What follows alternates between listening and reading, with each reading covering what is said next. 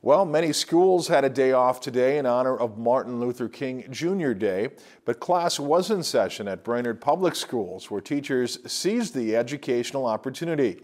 Becky Parker tells us how one third grade class applied King's message of respect to their own lives.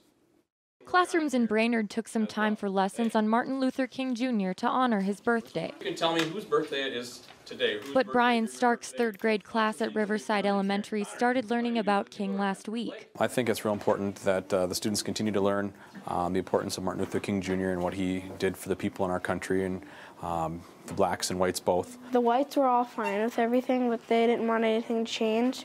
But Martin was sad that they didn't want anything to change because he thought that everyone should be treated equally. As a little boy, he wasn't treated that fairly, and he won a Nobel P- Peace Prize. The students had their own ideas about what they would do if they won the Nobel Peace Prize. I would donate the money to children's charity. I would give it away to the people who that who don't have money. people who don't have homes, clothes, food, or water, so they could have a nice, warm home. I think it kind of came from the heart, and they, they really wanted wanted to do what was best for their community and for their families, and um, you know not only here in the Brainerd area, but in the state and the country and the world. So it was great to see. Stark says some of the goals King worked toward tie in with lessons taught to Riverside Elementary students year round. Respect for others, nonviolence, and dignity are among those lessons. The students signed a pledge promising to live King's dream. By loving, not hating, showing understanding, not anger,